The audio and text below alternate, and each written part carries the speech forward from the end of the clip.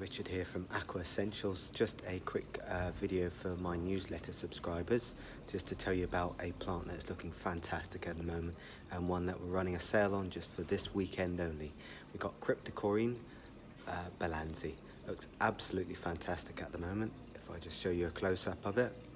Really long leaves, grows up to about 40 centimeters in height, easy to grow, low to medium sized light, um, great for beginners there's really not a lot of negatives about this plant and they're looking fantastic at the moment. If I just show you the ones that we've got in stock as well.